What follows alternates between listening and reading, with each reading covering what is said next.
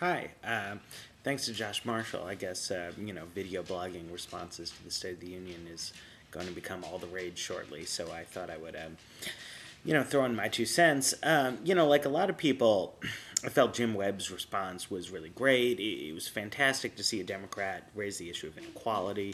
He was really strong on the foreign policy issues as well. He seems like a good personality to deliver these kind of messages, you know, credible in a way that, y- y- you know, some fool uh, in his Adidas hoodie um, you know, yuppie guy isn't. Um, his family record on, on, military policy is very good. You know, I hope he'll, he'll take a, a leading role on these things. Um, at the same time, as Max Sawicky points out in a sort of lamely old school, you know, textual blog post, uh, it was kind of distressing to see mm, the way that the Democrats in the audience all kind of stood and applauded like like dummies at some of the president's references to Iran. That that Webb himself didn't take this particular thing on. Um, you know, I mean, I see why the Democrats applauded. Literally speaking, what they were applauding was the idea that Iran shouldn't get nuclear weapons, um, which is true. I, I, would like to see Iran not get a nuclear weapon.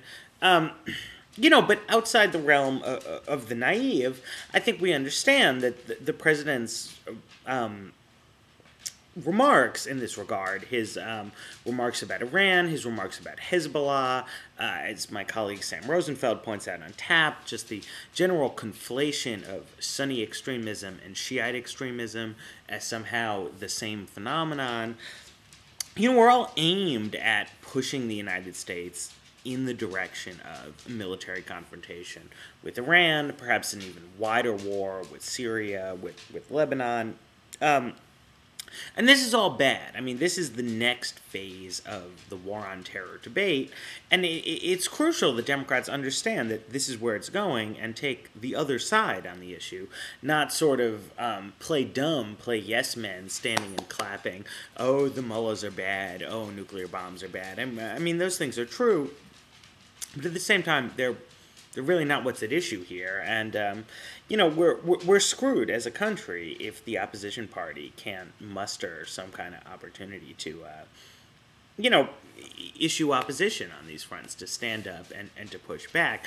The simple assumption that Bush is too unpopular to do further harm uh, at this point, you know, that's, that's um, uh, comforting, but, but I think it's wrong. I think there's no real evidence for that. Um, anyways, uh, I'm Matt Yglesias. It's late. Uh, those are my thoughts, and uh, I'll sign off now.